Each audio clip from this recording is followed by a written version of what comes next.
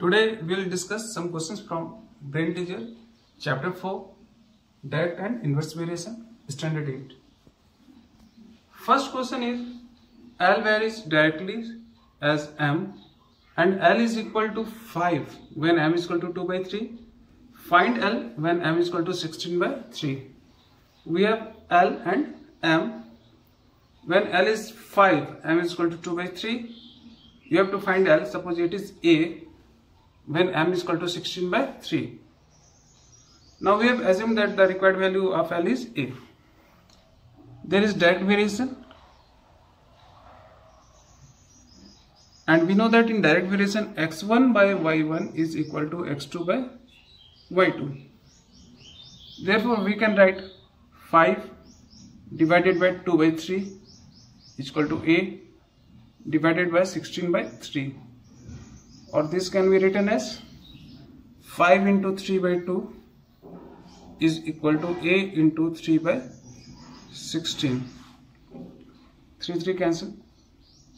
That implies a is equal to 5 by 2 multiply 16 2 1 ja 2 2 8 ja 16 5 8 ja 40 so required value of L is 40 Next question is a bowler throws a cricket ball at a speed of 36 km per hour.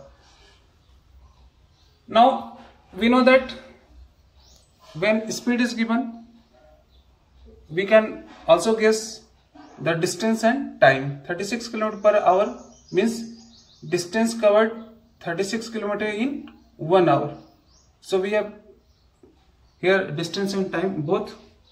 How long does this ball take to travel a distance of 20 meters? How long that means we have to find time and distance is given. Now we have distance. Suppose the distance is in meter and time in second. Now 36 kilometer per hour. That means 36 kilometer. 36 kilometer can be written as 36000 meter. And in one hour we know that we have 3600 second. 60 into 60 3600 second.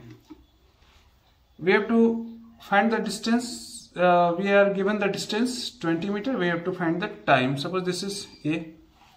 Now distance time is also direct variation. There is direct variation Therefore, 36,000 divided by 3600 is equal to 20 by A. That implies here 0 0 cancel. And 36 1 ja 36 10 ja 360 10 into 8 10 a is equal to 20 that implies a is equal to 2 and the unit of time is we have taken here is second we have expressed time in second so 2 second is the answer.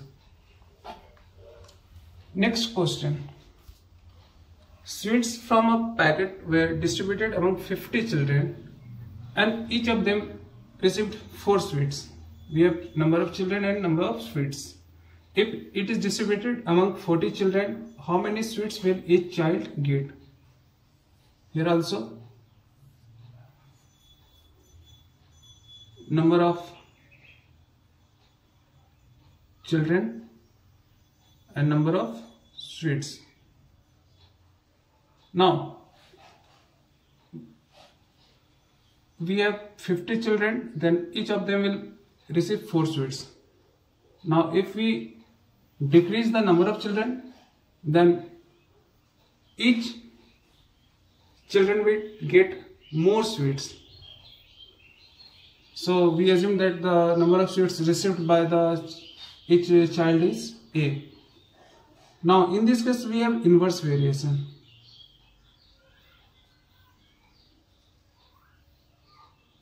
Why? Because the total number of sweets in the packet is fixed. So if we decrease the number of children, then the number of sweets will increase. And we know that in inverse variation, x1 into y1 is x2 into y2. Therefore, we can write 15 to 4 is equal to 14 to a. That implies a is equal to 15 to 4 divided by 40 14 is 40 10 5 is 50 so number of sweets each child will get is equal to 5 sweets next question question number 4 if y is directly proportional to 1 by x and x is equal to 2 when y is equal to 20 what is the value of x when y is equal to 1.25 here we know that there is direct variation between x and uh, sorry y and 1 by x. We have 1 by x or we can write y and 1 by x now y is 20 and x is 2 so 1 by x means 1 by 2. What is the value of x? Suppose this is a and y is 1.25. We can also write here 1 by a. Suppose x is a then it will be better to write 1 by a. And if you assume here a only then you have to find the reciprocal when you uh, finally uh, if you want to uh, finally get the answer. So we assume that x is a that means 1 by x is 1 by a. Now there is direct variation. And in direct variation x1 y y1 is equal to x2 by y2 so we take the ratio 20 divided by 1 by 2 is equal to 1.25 divided by 1 by a. That implies 20 into 2 by 1 is equal to 1.25 into a by 1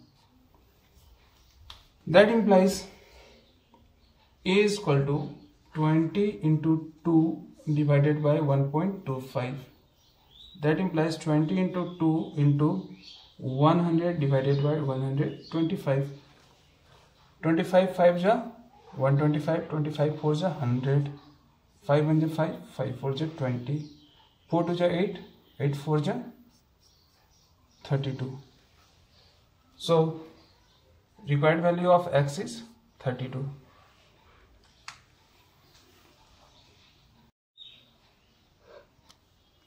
next question is question number 5 if L is inversely proportional to square root of m and L is equal to 6 when m is equal to 4 what is the value of m when L is equal to 4 here we have L and root m. Now L is 6 root m that means when m is 4 we have we can write root 4 we have to find the value of m. Let the required value of m is a. So root m is root a. And l is 4 now there is inverse variation. Hence in inverse variation x1 into y1 is x2 into y2 hence we can write 6 into root 4 is equal to 4 into root a. Now 6 into square root of 4 is 2 is equal to 4 into root a. That implies root a is equal to 6 into 2 by 4 2 1 4 2 2 2 is 4 2 1 is 2 2 3 is 6 so root a is 3. Now we have assumed we have to find the value of m and m is equal to a.